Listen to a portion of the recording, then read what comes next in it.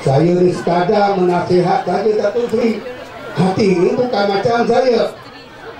Ah, anak buah ni dia lain juga ni. Jangan kata anak buah saya jaga yang berakal, pandai berfikir, pandai kutuk saya. Saya jaga anak saya pun pening. Apa yang mendapat sagu adalah UMNO, tuan-tuan. Sayanglah negara. Jangan tak sayang. Tiba-tiba acara MB tak jadi, maka MB nak datang ke Paya Senayan. Ini kelebihan orang Paya Senayan. Maknanya, orang Paya Senayan ini di hati Menteri Besar kita. Bukan senang ini tuan-tuan, berapa banyak kampung di Kedah ni, maka kampung Paya Senayan di hati Menteri Besar kita.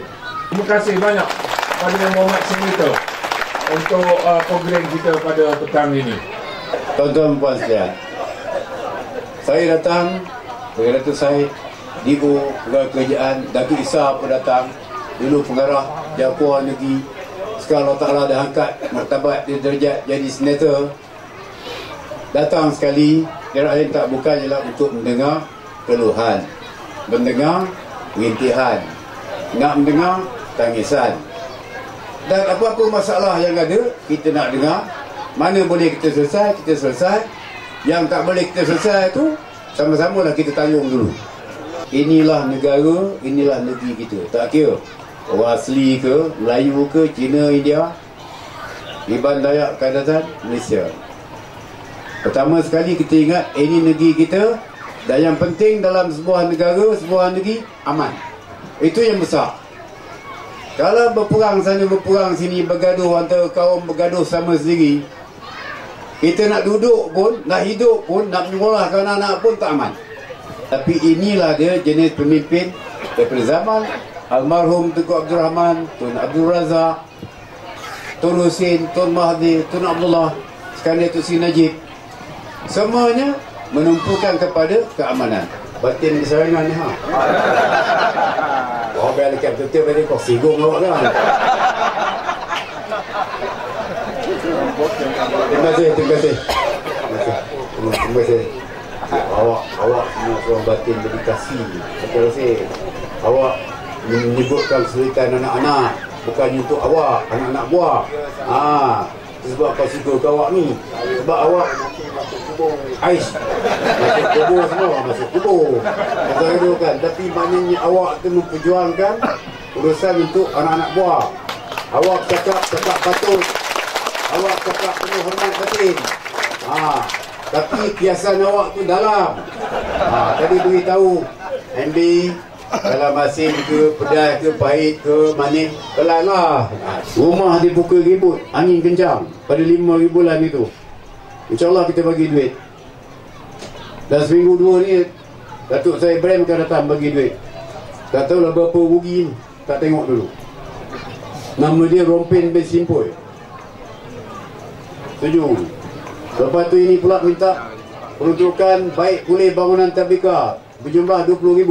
Saya ingat nak bagi RM50. Dah minta RM20, ambil lah RM20. Setuju.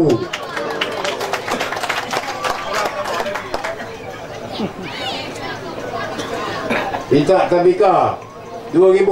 Saya bagi RM5,000. Datuk Syed akan dapat dah dua ni selesai kuning dulu. Datuk saya akan datang menyelesaikan dia jumpa ni. Batin Rasid insyaAllah. Bantuan mesin jahit Dila bin Awang Mana buat? Bagi. Bagi mesin jahit yang paling modern sekali. Yang paling mahal sekali. Ya? Ambil kopi.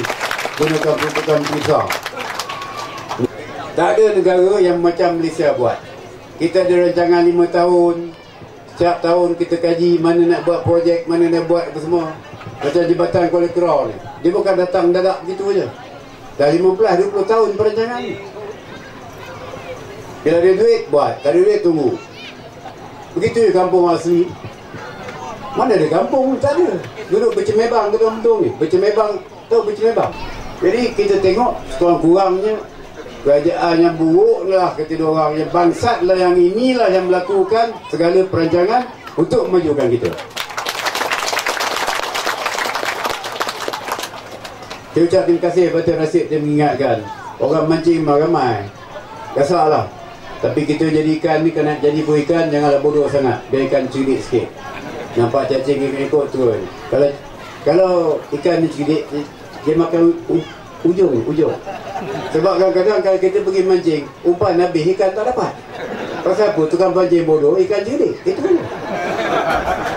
Tak kita mancing tak dapat? Umpan habis. Ha. Tapi ada jenis ikan tu bukan pancing pun. Ini mata ha? ikan ikan berkilat-kilat bukan ikan betul dia makan. Ha, itu ikan bodoh. Saya sekarang nak pergi tengok masalah yang dibawa oleh Batin Rashid. Baik. Saya nak cakap terang-terang. Mana yang boleh bagi, kita bagi.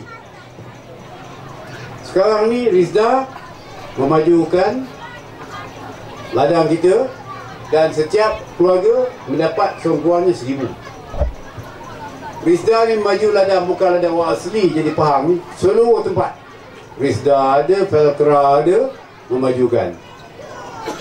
Kita dah kaji lah masalah Melayu orang asli ni batin. Supa je. Orang tahu benda masalah kita ni. Kita suka berjual. Dapat degeran, jual. Ha, itu masalah. Untuk nak elakkan kepada itu, kita pakai sistem saham. Kita bagi, okey Batin Rashid, ini dia lot dia. Tapi bukan nama dia. Dari satu lot, satu lot. Tak tahu lot di mana. Tapi ada share. Lot rumah ni pun, Dato' Isah eh. Lot rumah pun sebenarnya kita tak bagi ya. Yang lambat sikit di sini Batin Rashid Nak mengukur tu Kita ni tengok Apa susah ni Bagi je lah tanah panjang-panjang sini Yang lambat dapat geran ni tuan-tuan perempuan sekalian SO dia kena buat plan Satu-satu-satu Kecil je benda ni nak. Le- Leceh. Sehari boleh buat satu dua je Plan ni. Ha, Ni pula beratus Ini saya janji insyaAllah. Kita siapkan cepat Datuk Dio Ini jangan main lah 2-3 bulan ni akan boleh mau siap. Asli Pahit Sendayan bagi tahun 2016. Untuk itu dipersilakan yang berada Encik Rasid anak lelaki Ali Batin Kampung Pahit Sendayan untuk menerima judge daripada Yang Berhormat untuk bisa faham. Mohon kerjasama kepada semua penerima untuk membuat barisan bagi memudahkan uh, urusan penyerahan dividen. Tamat bencok. Tamat Bencok. Ha. Ni uh, di pada kampung Pagi Sedayan lah. Ya. Okey, uh, dah dapat tadi dividen sebanyak RM300. Ya. Saya tahu selama 146 orang. Lepas tu duit lebih akan diberi dalam RM700 lagi. Maksudnya apa perasaan uh, kerajaan eh, bantu kita? Uh, dari Yang segi lah dia semua. macam dia dia bantu dia okey lah tu. Ha. Apa lagi rasa yang kurangnya Yang kita tak puas hati kan Sikit-sikit mungkin ada Dia rasanya tak puas hati dah. Puas hati belaka dah Ha. Tak ada, tak ada benda dah rasanya Tak ada benda. Sebab janji-janji macam ada orang minta tadi Minta mesin jahit Ha. Besar bagi kan Jadi Ha. rasa tak ada benda dah dah ya Ha, tak, tak ada. Ha. Jantan bin Budin. Budin Ha. Daripada Paya Senayan lah, Senayan lah. Ha. Saya nak tanya apa perasaan dah dapat duit seperti apa rasa kepada kerajaan Maknanya memang, memang kerjaan BN memang okey lah bagi saya lah. Ha.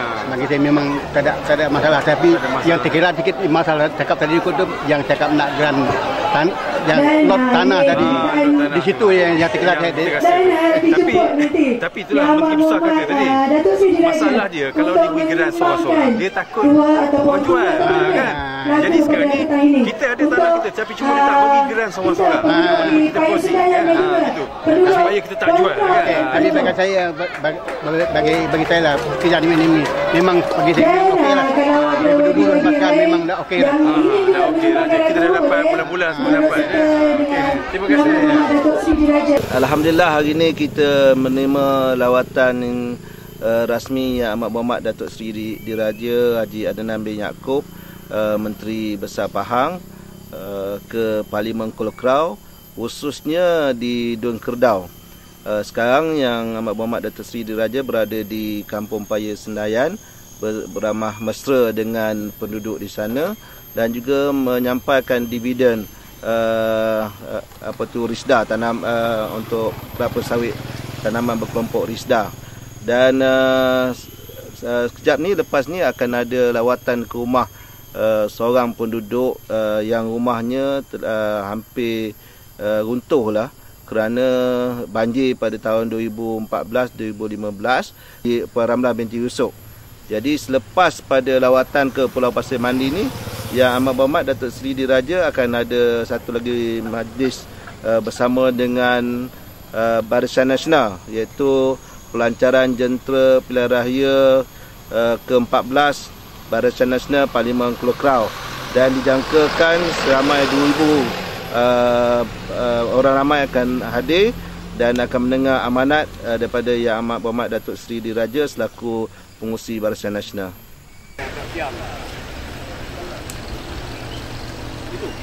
Buat platform.